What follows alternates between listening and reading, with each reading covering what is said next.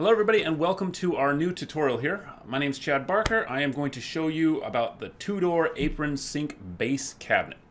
Alright, so today we're going to be looking through what sink works with this cabinet and uh, how to order it the correct size. So getting started here, we have the apron front sink base cabinet and we're going to be using the Whitehaven K5827.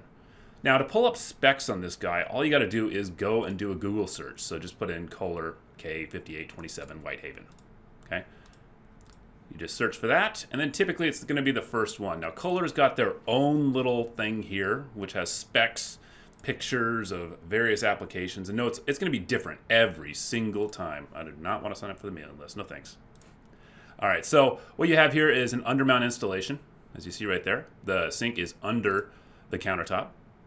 Yeah, right there. Okay. And that's what we're going to be doing in this tutorial today, and we're going to find the right cabinet for it. All right, so they have some cool pictures here. Every single one of them is different. Notice that this one has a separate panel that's probably been cut out and done. Our panel is going to be integrated into the cabinet itself, and there's going to be a little bit of a reveal. That's a gap around the sink itself uh, to the doors of the cabinet. Okay, so what we want to do is find the specs. Let's go down here, specification sheet. You'll download it. I've already downloaded, and now I have a PDF of the Kohler Whitehaven K5827. All right, so it's a minimum 33 inch apron sink base cabinet. Now, a lot of companies recently have been going through uh, this revolution where they think that their apron sink uh, is going to be the same as a farmhouse sink and vice versa. They've kind of dis- they've kind of delineated, delineated the line between the two types of sinks. So you have a farm sink cabinet or a farm sink, which is essentially where the whole thing is just one big bathtub looking thing, and it actually just sits on a deck. So essentially, like what you'd have right there. Uh, I've already drawn these lines in for you. Uh, essentially, what we do here is we're looking at an apron sink, which has this right here, which is the apron. Notice. And then our cabinet's going to have to tuck up underneath it, and it's going to rest on the face of our cabinet. The apron's to rest on the face. So with our sink cabinet, it's right here. That's the way it's constructed. We can get a better, closer look by going here and taking a look at this. Notice that we have two vertical stiles on the left and the right, three quarters of an inch wide. And then we also have this big wide rail right here that sits behind the doors. Now you can also see the opening height. That's going to be from the top of the cabinet to the top of the fixed shelf. And then two inches above that is going to be where your horizontal rail stops. So essentially what we need to do is have that apron sink kind of come down here and then rest into the face. And we can have a big wide gap right here. That's completely fine. All right, so let's get started here. Let's build the cabinet. Okay, so what you're going to want to do is find out the opening height. Now, the easiest way to do this is to look at the actual sink. So width, let's find the width first. Width is going to be 33 inches. We already know that. And the reason we can verify that is this. We have a 33 inch width. We know that there's a left and right side here. It's 3 quarters of an inch. So that means our opening. So the distance between these two partitions is going to be 31.5. Now we can verify that right here. 31.5 is big enough to fit this sink cabinet into the opening. So 31.5 is larger than this. We're gonna have a quarter inch gap right there and another quarter inch gap right here. And then you can kind of shimmy it in there and actually shim it in there if you wanted to as well. Uh, but most likely that's not gonna be needed because the countertop will be uh, silicone down to the top of this uh, when we're all done. Okay, so we got our width, no problem. All right, next, height. We can use our standard 34 and a half inch uh, base cabinet height. That's our standard for base cabinets, and that's no problem. And then we go to depth, 24. You can do 24 or 26 inch depth. Now, a lot of people ask me, they say, well, why, do you, why would you ever want to use a 26 inch depth sink cabinet when the rest of my base cabinets are at uh, 24 inches?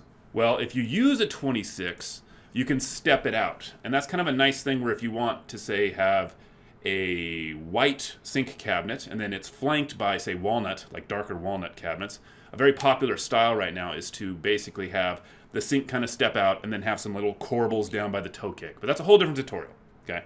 That's why you use a 26. It just makes it kind of pop. Kind of nice. All right. Let's go back and next one here we have our opening width, which we've already determined from the width above, 33 inches. Opening width is going to be uh, 31.5. You guys all know that. Now opening height. Now this is where you can get into some trouble.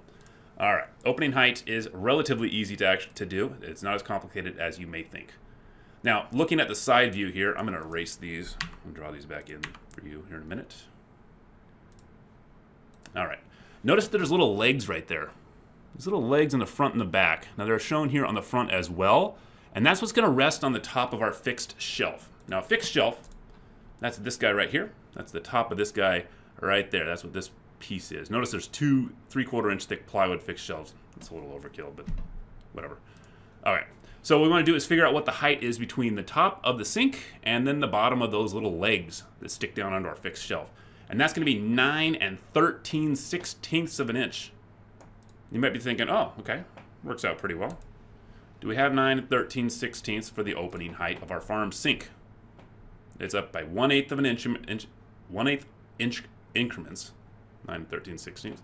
If we round up, we have to go to 9 and 7 eighths. So our opening height is going to be 9 and 7 eighths, which is just 1 16th inch taller than the 9 and 13 sixteenths that we see right there on the sink. Okay?